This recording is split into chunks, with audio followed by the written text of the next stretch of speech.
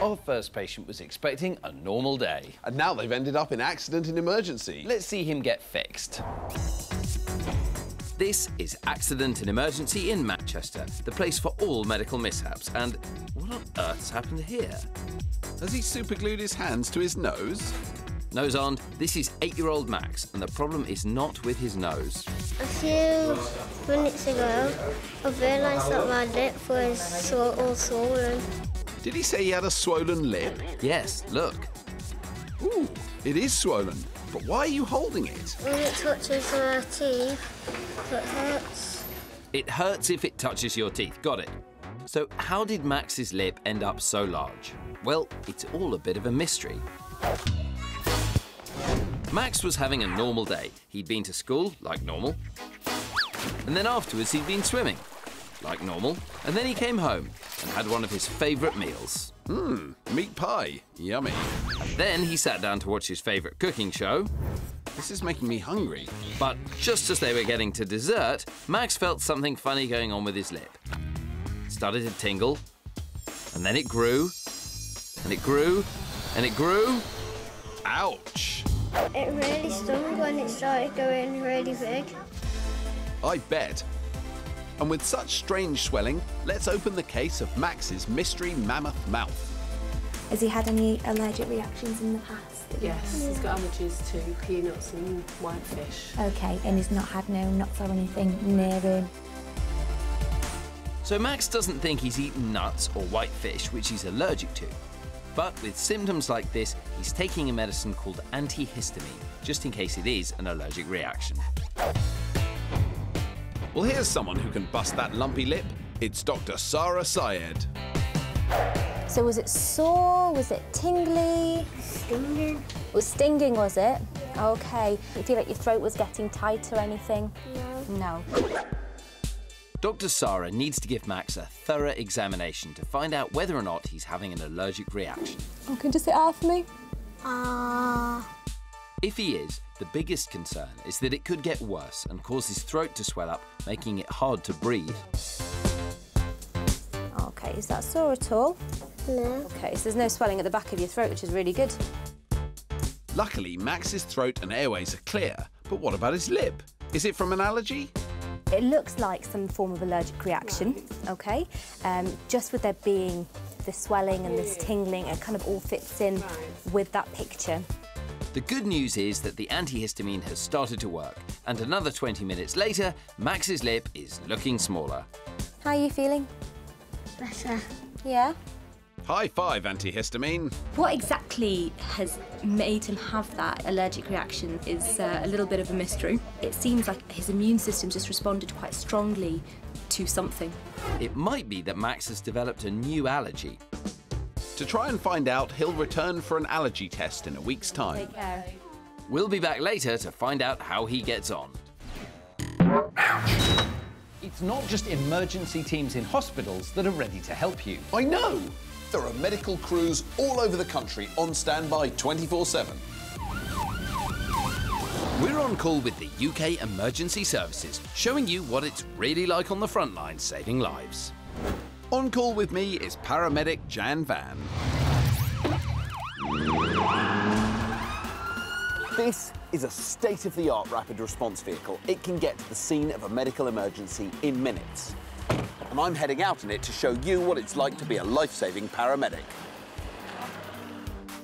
Jan can take 10 to 15 emergency call-outs in a day, and a new case is just in. We've had a 999 call to see a 32 year old man who's got a rash and swelling in his mouth. Now, that sounds to me like an allergic reaction. So, I've got my camera in the front, Eric has got his camera, and we're going to be getting you as close to the action as possible. Only a couple of minutes later, and we arrive at our destination. Hello, is it Alan? Take a seat. My name's Jan. What's the problem today? I had like a reaction to something. Uh, your tongue was swelling, have a my look. throat feels a bit. Tight. Have your mouth wide as you can. Ah. Fantastic. So your tongue feels big in your mouth, does it? Yeah, my ear feels quite tight. Okay. I was a bit short of breath, but Alan is experiencing something called anaphylactic shock, an extreme allergic reaction. Tigger and Sasha look concerned. So is there anything that you're aware of that you're allergic to? Nothing that you know of? Although Alan's being pretty brave, he has a life-threatening condition. His lips and tongue can swell, and that can cause problems with breathing and swallowing. So it's actually really important that Jan's here. What I'll do is I'm going to give you an injection into your arm in a second with a drug called adrenaline. Now, you may have heard of adrenaline. It's actually a hormone that your body makes. What it's doing in Alan's case is constricting the blood vessels in his tongue, in his lips, and will actually reduce that swelling. In cases like this, it can be life-saving. I'm sending um, Alan in hospital today just so that I can make sure his tongue doesn't swell again. So the drugs I've given only work for a short time. How are you feeling, Alan? Do you feel like it's working? Yeah, I do feel a little, a lot of swelling's going down. And... Yeah. An ambulance has arrived to take Alan into hospital. You'll be right walking out, yeah? Yeah, fine, yeah. It's potentially a life-threatening problem that he had, and Jan's really fixed him up. You could see how much the swelling in his lips had gone down, and that happens all the way down his throat and into his lungs. So that's really, really good news, and they'll be able to treat him really well in hospital.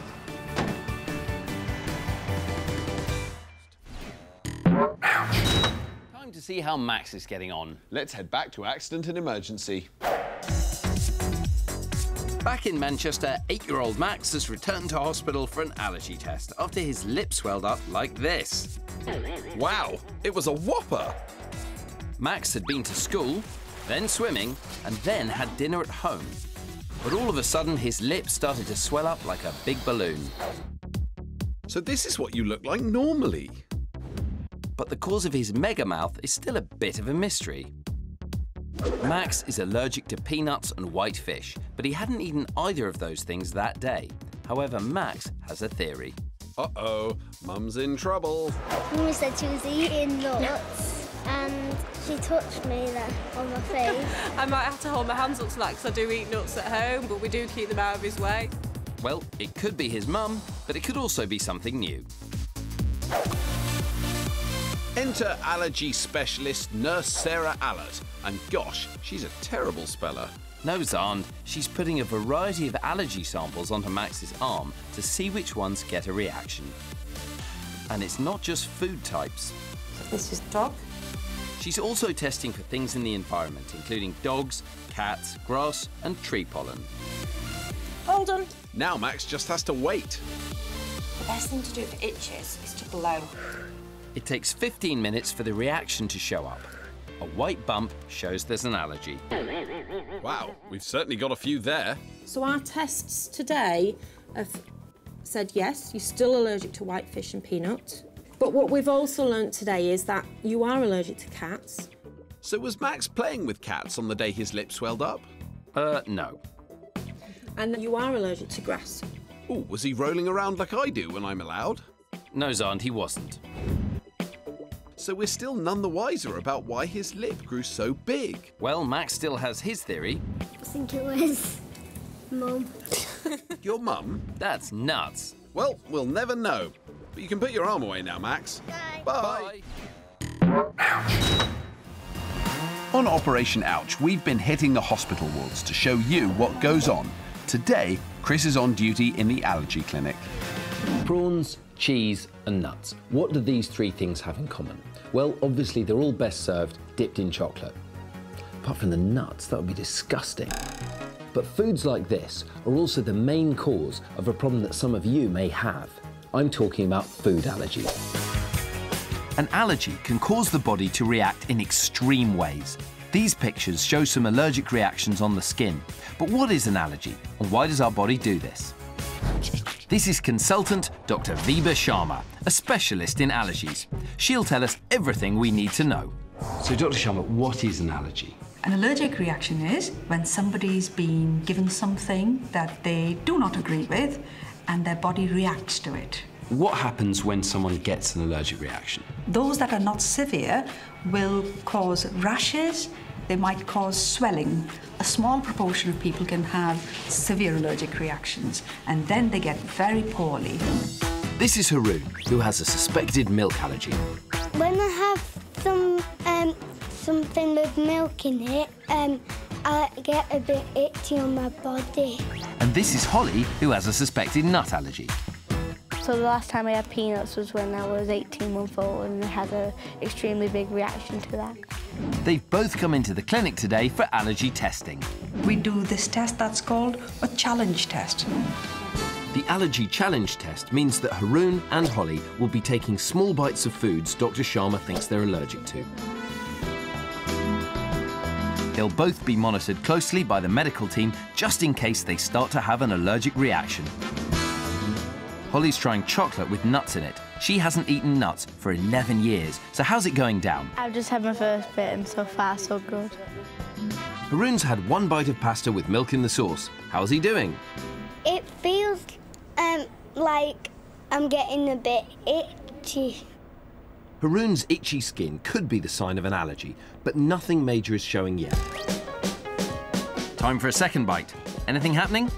Second one now and I'm still alright. In fact, after a few more bites of her dreaded food, it's good news for Holly. I've had six pieces of chocolate with mixed nuts in and with no reaction. They confirmed to me that I'm not allergic to any nuts at all.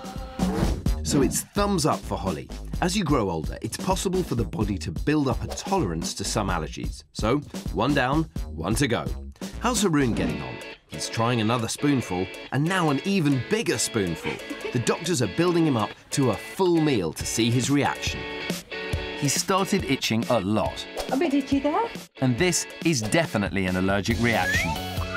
When this happens, your body releases chemicals called histamines, and this is what makes you itch. The more histamines, the more severe the reaction. The histamines released not only make Haroon itchy, but also cause little bumps on his skin called hives. These bumps are formed by fluid leaking from the blood vessels in the skin. Which means one thing I'm allergic to the milk in the pasta. We know Haroon's reactions have been really bad in the past, so he's had breathing difficulties which have required a lot of treatment.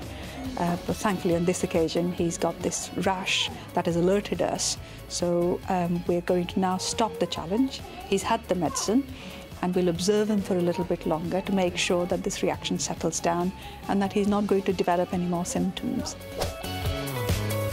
So although the body can adapt and overcome food allergies, the allergy challenge has confirmed Haroon's body is still sensitive to milk. He'll need to avoid eating anything with milk in it to make sure he doesn't have a nasty reaction in the future.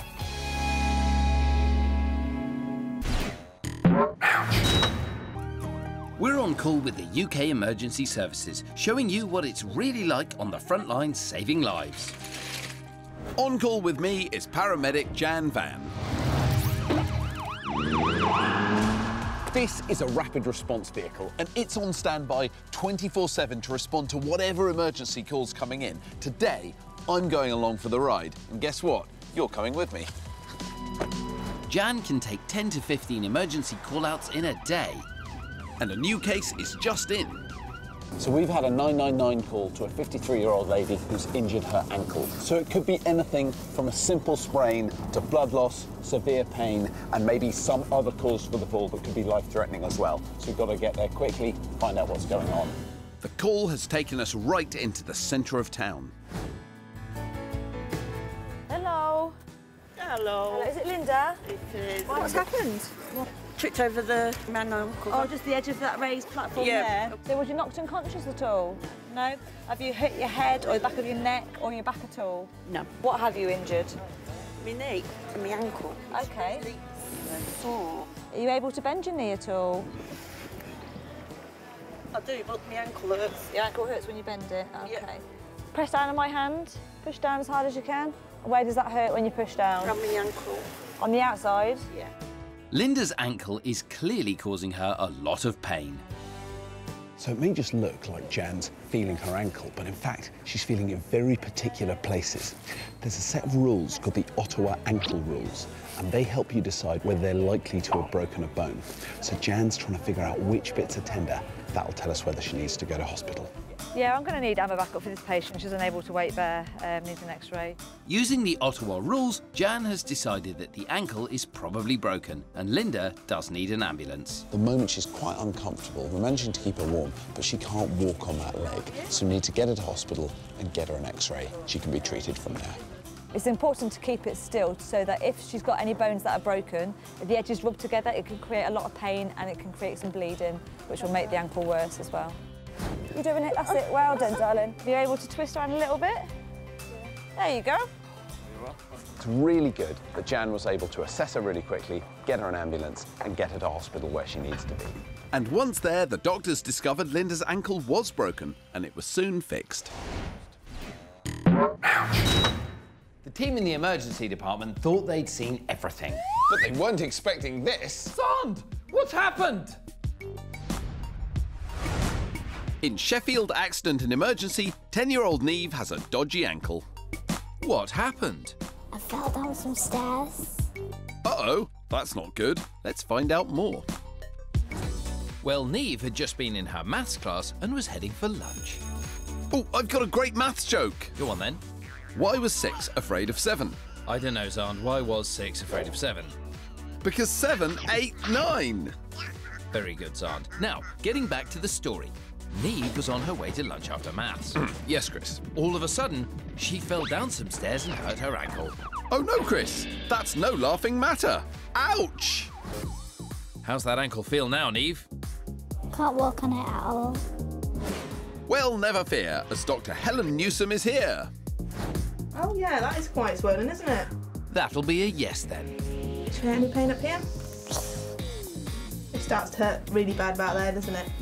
And can you wiggle your toes at all? Oh dear, those toes don't seem to be wiggling. What's the verdict, Doc? Worst case is that she's broken it. And one of the things you can do with breaks is you can damage some of the nerves or some of the blood vessels. And she might need to go to theatre with the orthopaedic surgeons and have it fixed. Best case scenario is that she's sprained it. So, it's off to x ray to see what the damage is. Dr. Helen delivers the results. We managed to do a little break or fracture through this bit here, and one through this bit here. Ooh, double break. So what's the plan, Doc? We admit you for a couple of days. Right. Put you up on the ward and elevate that foot. It's really important that we get that swelling down. So what we need to do is we need to get her admitted for a couple of days just so we can make sure that leg is nicely kept up in the air, make sure she doesn't develop any complications. Probably not what you wanted to hear, is it? As Neve's ankle is so swollen, she's having a back slab cast. She needs a cast to keep the fractured bones stable, but it only goes halfway around to allow for the swelling. Really heavy. It's heavy. How's that ankle feeling now, Neve? Feels a little bit better with it on. So it's a thumbs up and off to the ward for a sleepover where Neve will have to keep her leg up for a couple of days as it's important to get the swelling down on that ankle. Find out later how she gets on. We're in the park, the perfect place to spend an afternoon. Whether you're sitting having a picnic, walking with friends, or playing football. Sorry. But a day in the park can also be a day of danger. You could fall asleep without sun cream and get sunburned. Ooh, dangerous. Oh. You could get lost and stumble into a forest full of hungry bears. Phew, danger averted. Or you could accidentally forget your money for ice cream and have to watch other people enjoying theirs.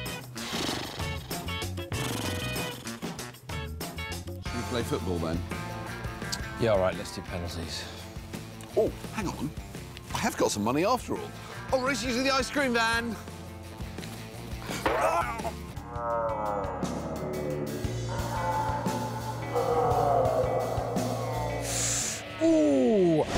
Minor injury. So what should you do if you sprain your ankle? A. Roll around on the grass crying, I'll never compete again. B. Apply something cold to the injury for no longer than 10 minutes. Or C. Buy the Ankle D-Sprainer 2000 and hope it works.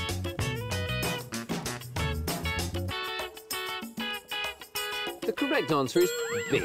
We need to reduce the pain and the swelling with a cold compress. How's that, Xand? Well, it's better, but I'm still not happy. I know something that'll cheer you up. Come with me. Ah! Oh! My ice cream! My clothes! hey!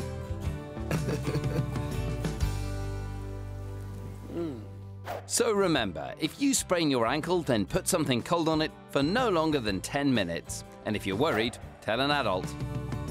In fact, lots of injuries can be helped by putting something cold on them. It's particularly useful for sprains, strains, and pulled muscles. This is because it reduces inflammation, stops swelling, and can help with pain. So don't forget this cool fact. Nice ones, Xand. Nearly half a million people come into accident and emergency every year with a sporting injury. Here's another one. Eight-year-old Mason is in accident and emergency with his mum, big sis and dad. He's not too happy though. Because he's got a dishcloth on his leg? No, Xand, because... I hurt my ankle. Let's see it then. My ankle's like a ball. And Mason can't bear to look. How did it happen? Check it out. Mason was trampolining and jumping as high as he could. Higher, and higher, and higher. Is that outer space? It gets worse. His cousin was on the same trampoline, going as high as he could. So guess what happened next? They left Earth orbit and flew to Mars? Outer space looks a lot of fun. Oh, hang on a minute, this doesn't look good. You're right, Xand. Here's what really happened. They smashed into each other, toppled down, and Mason twisted his ankle. Ouch! He's just a typical boy, isn't he? Good as gold. I'd be amazed if it's not broke. Here's the very man to tell you, Dr. Christopher Beavis. Take a peek, Mason. You're in safe hands. Dr. Beavis checks the sensations in Mason's foot as sometimes with a bad break or bad sprain, swelling can compress the blood supply and nerves, but he's happy that they're all okay. We're going to get an x-ray just to make sure there isn't any bony damage underneath. Um, personally, I think this is a sprain at the moment, but obviously the x-ray will tell us a bit more information. So I'll get that sorted, we'll know what we're dealing with. So it's x-ray time for Mason. Although the doc thinks it's a sprain, you never can tell. That's a pretty good picture, Mason. Well done. Dr. Beavis is checking the bones in Mason's foot. There's just a small fragment of bone, if you like. It isn't conclusive, but because of the, the symptoms on the side of his ankle, we're going to treat it like it's a clinical fracture. So the doc is treating it like a break. I hope you like the crutches, Mason. I'm kind of hoping I get crutches, so I'll be popular at school. What's he like? So we'll get you back to a fracture clinic in the next day or so. Never mind that. Yeah, what about the crutches? Does he keep his weight off it? Yeah, keep his weight. We'll give him some crutches as well. We'll see how he gets on with them. Result. But wait. There's no guarantee you get to take the crutches because if you can't handle the crutches, Oh, we can. you can handle Yeah, crutches. Okay. I'll been practicing Okay. Okay, for when good. this day comes. Excuse me, practicing? That's keen. But at eight, Mason's a bit young for crutches, and even though he could do with them, first he has to prove he can use them. Got what I wanted, crutches. Not yet, you haven't. We don't really see them again once we give them to the kids, unfortunately. But, uh, but yeah, they seem to find them exciting. I'll be the second one in my school to have crutches. First one in my class. And what's so good about that? Girls. He'll have girls? I'll have all girls just going, oh, you're all right, you're all right, you're all right. And I'll be like, yeah. Playing it cool, Mason. Nice. But first, Mason has to take his test. They're not taking my crutches away. Join us later to see if he passes the test. We're giving you exclusive access to an accident and emergency department. Let's meet our first patient. In Sheffield, accident and emergency, seven-year-old Logan's all bandaged up. What happened, Logan? I broke my arm Oh, how did you do that? playing football. Playing football? Let's see exactly what happened. Logan was at football camp learning new skills. He can dribble, head the ball, and score goals, just like Lionel Messi. Then it was penalties and Logan's turn in goal. He saves it. Brilliant. Up steps the second player. Logan saves again. But why is he holding his arm, Chris? Let's look at that again. The ball came rocketing in. Logan saved bravely, but look at his wrist. It's bent right back. Ouch. Here to save the day is top doctor Reddy Ilavala. Hi, Logan. You all right? First, he needs to check Logan's injury. Ooh, bit sore there. It's very important that there's a good blood supply to the tips of Logan's fingers. Can I just touch your thumb? Is that is that okay? Able to feel it? If he's got any numbness or pins and needles, then uh, we need to manipulate like straight away in the emergency department. Once he's happy that Logan's hand has a good blood supply and is not numb, Dr. Ilavala sends him off for some x-ray pictures that will reveal the damage. First one, then two x-rays. Another satisfied customer. With the x-rays all done, what's Dr. Ilavala's verdict? It's broken in, in two places and it's also gone backwards as well. Ooh, double ouch! Time to, uh, break the news? Xand.